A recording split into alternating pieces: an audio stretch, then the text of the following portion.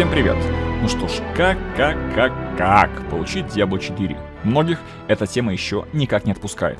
Ну и что касается названия видео, то в текущих реалиях существует два способа, как можно получить игру, реально поиграть, причем официально и без всяких блокировок. В большей степени игроков волнует вопрос, как можно получить игру на свой основной аккаунт. В текущих реалиях в 99% случаев вы ее можете получить как подарок. Почему, я думаю, понятно. Во всяком случае, для тех игроков, которые проживают или же в Республике Беларусь, или же в России. Причины, я думаю, тоже ясны всем.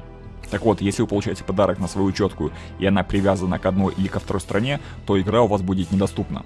И чтобы она стала доступной, или же заранее подготовить учетку к данному подарку, чтобы игра у вас была доступна вам, дорогие друзья, надо менять регион. Это первый способ. В текущих реалиях, чтобы сменить регион, вам надо взаимодействовать со службой поддержки Blizzard. Ну и если вы отвечаете на некоторые вопросы, которые вам будут задаваться, а также предоставляете необходимые документы, то они вам регион естественно поменяют. А как следствие, у вас будет активность Diablo 4, точнее вы ее уже увидите. Ну и будете только ожидать даты релиза, ну или же даты ОБТ, чтобы поиграть. Если вы сомневаетесь в своих силах, что у вас не получится сменить регион, то на просторах интернета гуляет огромное количество различных команд, которые могут вам помочь, проконсультировать.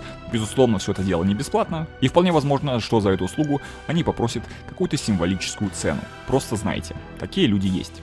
Второй способ, он гораздо удобнее, много дешевле, но при этом он слегка дискомфортный. То есть вам надо создавать новую четку под любой другой регион, нежели Республика Беларусь и Россия. Для некоторых это может быть действительно дискомфорт. Почему? Потому что на их основной учетке, к примеру, есть Diablo 2, Diablo 3, может быть StarCraft, может быть еще другие купленные игры, а тут надо им еще создавать очередную и очередную учетные записи. Для многих это не вариант, но как вариант для решения данной проблемы. И вот эти вот два способа, дорогие друзья, единственные, как можно обойти блокировку, региональную блокировку по Diablo 4. Ну или же использовать третий вариант — о котором, в принципе, многие из вас уже, наверное, слышали. Но я думаю, вы понимаете, о чем я говорю. Вот такая информация. И я надеюсь, она помогла тем, кто хочет поиграть в официальную Diablo 4 на основных серверах, но пока по каким-то причинам не знает, как справиться с этой региональной блокировкой. Имейте в виду, держу в курсе. Но пока все ваши мысли, ждете вы ОБТ не ждете, ждете ли вы вообще Diablo 4 не ждете, в общем, всю вашу боль оставляйте, как всегда, в комментариях. А я с вами прощаюсь, благодарю за внимание и за просмотр, не болейте, но играйте только в хорошие игры. Друзья, если вам нравятся ролики на этом канале, комментируйте, советуйте друзьям, ставьте лайки, подписывайтесь на мой канал на ютубе, вступайте в группу ВКонтакте. Я же для вас буду подготавливать все новые и новые интересные видео.